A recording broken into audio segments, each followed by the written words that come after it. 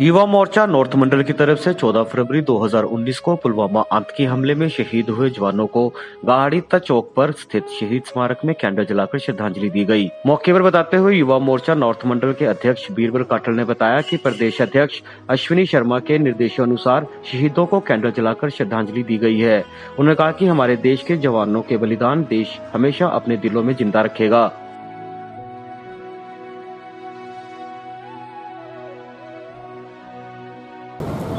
ਅੱਜ ਭਾਰਤੀ ਜਨਤਾ ਯੁਵਾ ਮੋਰਚਾ ਨਾਰਥ ਮੰਡਲ ਪਠਾਨਕੋਟ, ਅਸੀਂ ਅੱਜ ਜਿਹੜੇ 14 ਫਰਵਰੀ ਨੂੰ ਸਾਡੇ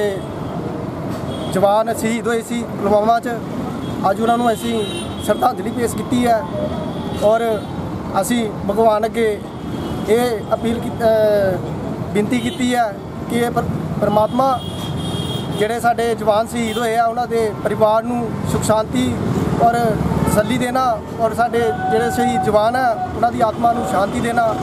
ਔਰ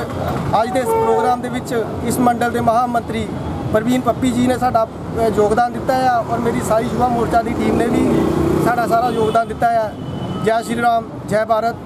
ਜੈ ਜਵਾਨ पठानकोट से कैमरामैन अभिषेक भारद्वाज के साथ अजय सैनी की रिपोर्ट